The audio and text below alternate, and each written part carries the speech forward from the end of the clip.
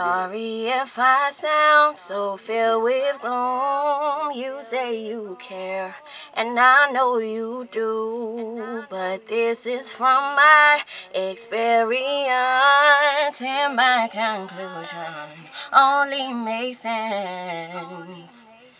Just cause I love you and you love me, it doesn't mean that we're meant to be. I can climb mountains, swim across the sea. But the most frightening thing is you and me. I'm not scared of lions and tigers and bears, but I'm scared of. I'm not scared to perform a sold out affair, but I'm scared of. Am I the only one who thinks it's an impossible task?